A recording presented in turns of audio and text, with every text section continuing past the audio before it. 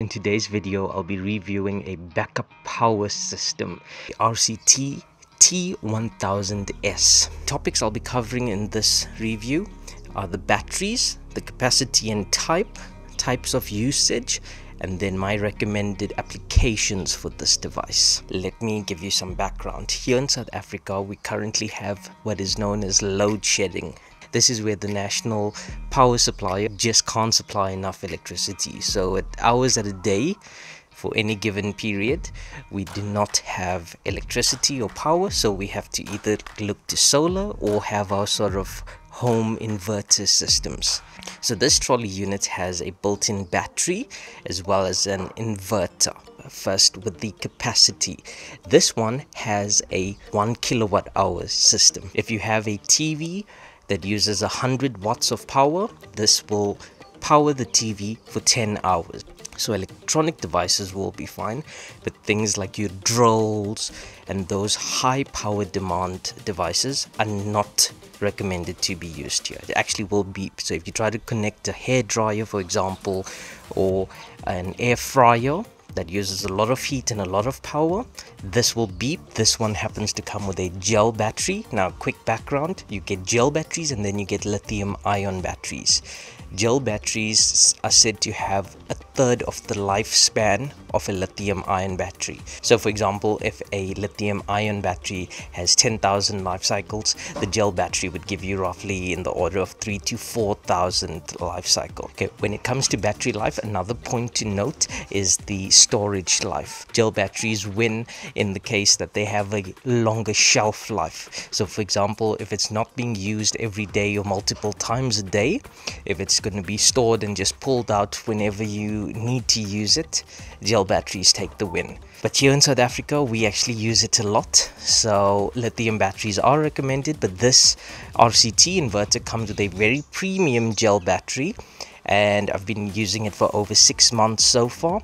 I've not had any issues to date. As you can see, it charges with a standard kettle port in the back and it has two normal three pin standard plugs uh, it takes anywhere between six hours or so to fully recharge, but within four hours, mine's recharges.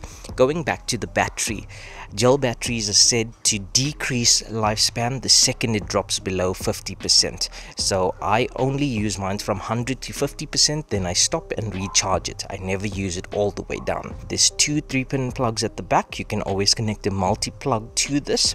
You have the main switch at the back, which you when that is off you can't use the device at all it does allow for solar input so it doesn't have to only be recharged using the kettle port you can connect solar on top of your roof and recharge the battery that way. You have to switch on the LCD in the front as you can see that little power button. Inverter gets switched on and it bypasses electricity. You can connect a 12 volt DC connector, barrel connector in the front or even a USB port and as you can see that little flick switch with the switch is down you can't use the front console. When the switch is on you can. This device is actually perfect especially if you're working from home and you're getting your power interrupted. It is a trolley so it does have wheels however it's quite heavy.